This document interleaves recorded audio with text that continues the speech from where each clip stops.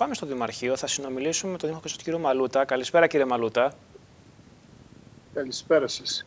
Βρισκόμαστε στην έκτη ημέρα του lockdown και να ξεκινήσουμε από την ενημέρωση για την κατάσταση στην περιοχή μας. Ποια εικόνα έχετε από τον Δήμο, αν θέλετε και από το νοσοκομείο μας, αν έχετε εικόνα, αλλά και από τις υπόλοιπες δομές;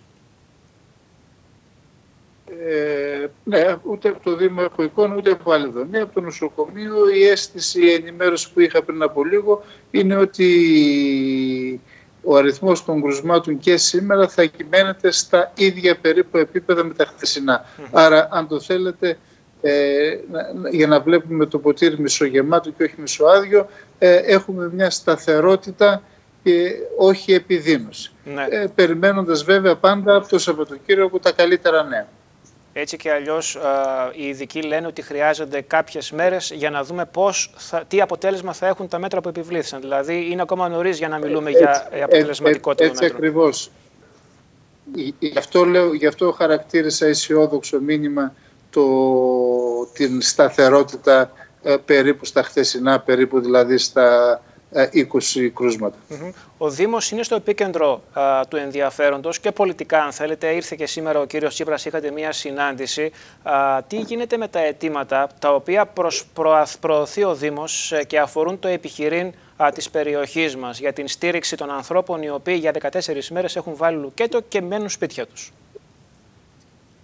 Ε, κοιτάξτε να δείτε, και όταν στην προθεσινή συνάντηση που είχαμε στο στο κτίριο της ε, Περιφερειακής Αυτοδιοίκησης εδώ στην Κοζάνη.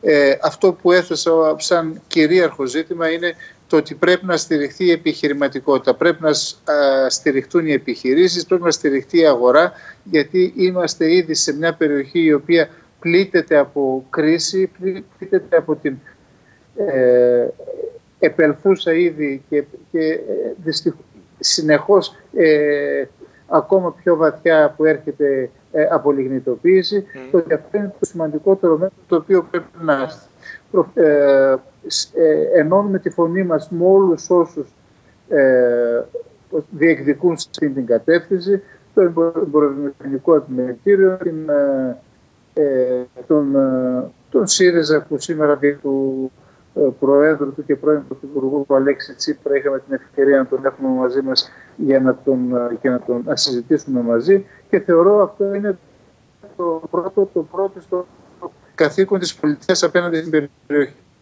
Mm-hmm.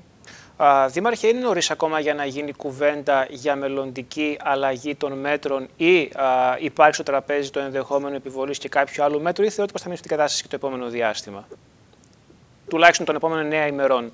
Ε, κοιτάξτε, το τουλάχιστον ως προς τις επόμενες 9 μέρες δεν μπαίνει στο τραπέζι θέμα με την έννοια το ότι η, η πολιτεία έχει, ψηφίσει, έχει εκδώσει μια απόφαση που προσδιορίζει τα επικινδυνότητα. Εμείς είμαστε στην, στην τέταρτη κατηγορία επικινδυνότητας μέχρι ε, την ε, μεθεπόμενη Πέμπτη. Επομένως μέχρι τότε δεν μπαίνει κανένα ζήτημα αλλαγής ε, οποιοδήποτε οποιοδήποτε κατάσταση. Mm. Προς τα χειρότερα δεν υπάρχει, προς το καλύτερο χρειάζεται αρκετός χρόνος για να δούμε τα καλύτερα επίπεδα. Άρα, σε ε, αυτό το διάστημα μέχρι την, το βράδυ της ερχόμενης Πέμπτης δεν περιμένουμε καμία απολύτως αλλαγή. Μάλιστα. Κάτι τελευταίο, παρατηρήσατε πρόβλημα στη λειτουργία κάποιας υπηρεσίας του Δήμου αυτές τις ημέρες; Κοιτάξτε να δείτε, είναι φανερό το ότι και με την τηλεεργασία και με, τα, ε, με τις εργαζομένων κάποια πράγματα ε, και με τη ε, διαδικασία του ραντεβού κάποια πράγματα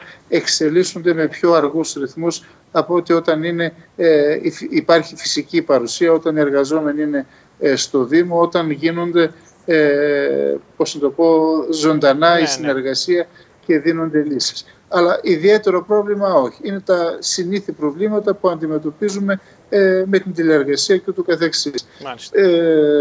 Εγώ πριν από μετά την συνάντηση με τον πρώην Πρωθυπουργό, τον κύριο Τσίπρα, είχα διοικητικό συμβούλιο με την Κεντρική Ένωση Δήμων.